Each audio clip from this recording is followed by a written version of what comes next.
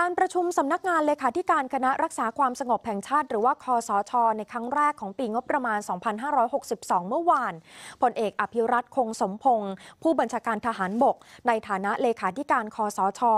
และผู้บัญชาการกองกำลังรักษาความสงบเรียบร้อย หรือว่าผบกกลรสค่ะ เป็นประธานการประชุม ซึ่งถือว่าเป็นการประเดิมงานแรกหลังเข้ารับตำแหน่งผบทบนะคะ โดยพลเอกอภิรัตขอให้ทุกหน่วย ร่วมกันขับเคลื่อนงานของคอสชอย่างต่อเนื่อง ช่วยกันดูแลความสงบเรียบร้อยในภาพรวมของประเทศ เพื่อเตรียมพร้อมสู่การเลือกตั้ง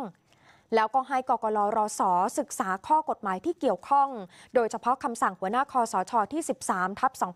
2561 เรื่องการดำเนินการตามกฎหมายประกอบรัฐธรรมนูญ ว่าด้วยพักการเมือง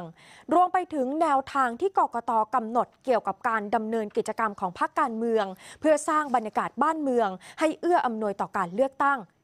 แล้วก็ช่วยกันสร้างการรับรู้กับประชาชนเกี่ยวกับโครงการของรัฐค่ะ โดยเฉพาะโครงการไทยนิยมยั่งยืน ซึ่งรัฐบาลกำลังขยายผลโครงการอย่างต่อเนื่อง เพื่อช่วยแก้ไขปัญหาหนี้สิน และช่วยเหลือเกษตรกร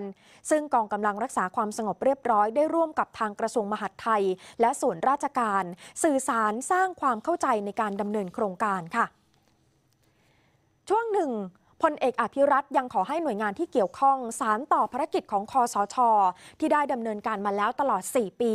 ซึ่งอาจจะมีการปรับเปลี่ยนวิธีการไปตามสถานการณ์ แต่ว่าหลักๆ ยังคงไว้ซึ่งภารกิจสำคัญค่ะ